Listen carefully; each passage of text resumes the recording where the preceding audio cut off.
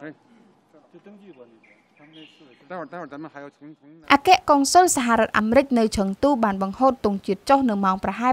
6:18នាទីកាលពីថ្ងៃច័ន្ទមុននឹងថ្ងៃកំណត់នៃការជម្លៀសចេញក្រសួងការបរទេសចិននៅថ្ងៃសុក្រនេះបានជូនដំណឹងដល់ស្ថានទូតសហរដ្ឋអាមេរិកប្រចាំនៅប្រទេសចិនអំពីការសម្រេចចិត្តក្នុងការដកកិច្ចព្រមព្រៀងរបស់ខ្លួនសម្រាប់ការបង្កើតនិងប្រតិបត្តិការអគ្គកុងស៊ុលសហរដ្ឋអាមេរិកប្រចាំនៅជ្រឹងទូក្រសួងក៏បានធ្វើដំណើរការជាក់លាក់សម្រាប់បញ្ឈប់ប្រតិបត្តិការនិងព្រឹត្តិការណ៍ណាមួយដោយអគ្គកុងស៊ុលផងដែរប្រទេសចិនបានចាត់វិធានការឆ្លើយតបទៅនឹងការទាមទាររបស់សហរដ្ឋអាមេរិកសម្រាប់ប្រទេសចិនដើម្បីបិទស្ថានកុងស៊ុលរបស់ខ្លួននៅ Houston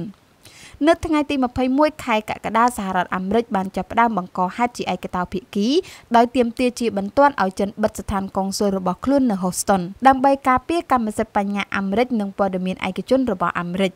គូបញ្ជាក់ផងដែរថានៅថ្ងៃអាទិត្យនេះជាថ្ងៃទី3បន្ទាប់ពីអគ្គកុងស៊ុលសហរដ្ឋអាមេរិកត្រូវបានជូនដំណឹងឲ្យបិទមានមនុស្សនិងយានយន្តចូលទៅក្នុងបរិវេណនៃបេសកកម្មរបស់សហរដ្ឋអាមេរិក